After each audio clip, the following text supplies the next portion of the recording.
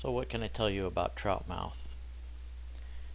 He's a very close friend of mine, which goes to show you the trouble I have at making friends.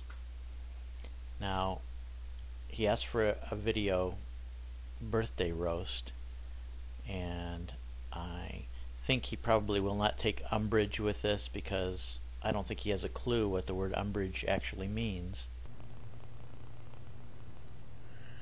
Yeah, so anyhow, um, that's pretty much how my day has been going. Uh, by the way, Little Star, I wanted to ask you, I'm working on a, a collab for uh, my friend Troutmouth, Ben, for his birthday. I just wondered if uh, you'd be interested in uh, helping me out with that. Are you okay?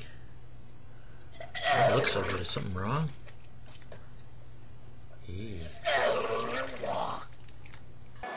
Okay. There was, there was a blog on, on Glam and Trout made a comment that I better be careful because Yeah. I banned some girl in, in, in the chat room and uh, and because I wanted Bob all to myself. Well, Lucy said Lucy said I could have him. So there we go.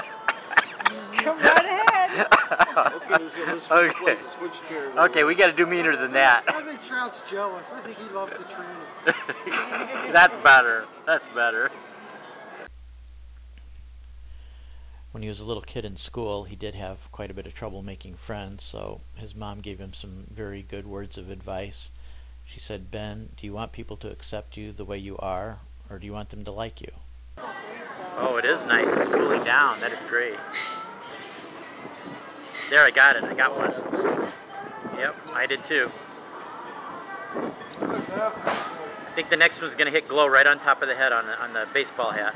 Boy, Boom. you shred them? I remember you do that and all of a sudden Yeah. a fried glove sitting there. But just think of the good, just think of the entertaining video it would make though. Yeah, Ben would love it. Yeah.